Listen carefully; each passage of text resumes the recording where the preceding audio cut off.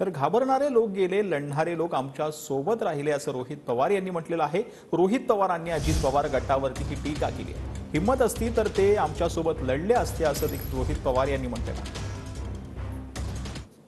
पाव दबाव तंत्र है और हमारे पास काय तर सामान्य जनता आणि आमच्याकडे पवार साहेब आहेत.